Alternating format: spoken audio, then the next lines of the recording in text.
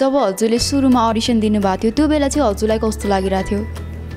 त्यतिखेर मलाई अलि डर त्यसो डर टाइपको लागिरहेको थियो। घरमा हजुर के गरेर टाइम स्पेन्ड गर्नुहुन्छ? के के गर्नुहुन्छ?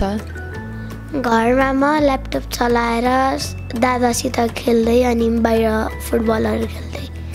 पर्खिबसेछु त्यही ठाउँमा जहाँ तिमी आउने भन्थ्यौ।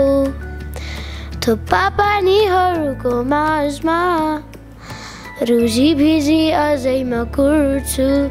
तिमी आऊ या अडिसन पछि हजुरको फोटोसुट भयो। फोटोसुटमा चाहिँ हजुरले के के कुराहरू सिक्नुभयो?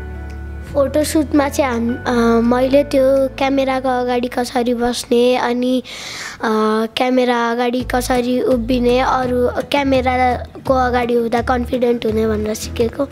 अडिसनदेखि लिएर हजुर अहिले इन्टरभ्यू दिइराख्नु भएको छ कस्तो लागिरहेछ हजुरको एक्सपिरियन्स कस्तो भयो? एक्सपिरियन्स एकदम राम्रो भयो अनि एक्सपिरियन्स एकदम राम्रो भयो अनि मलाई पनि राम्रो लाग्यो।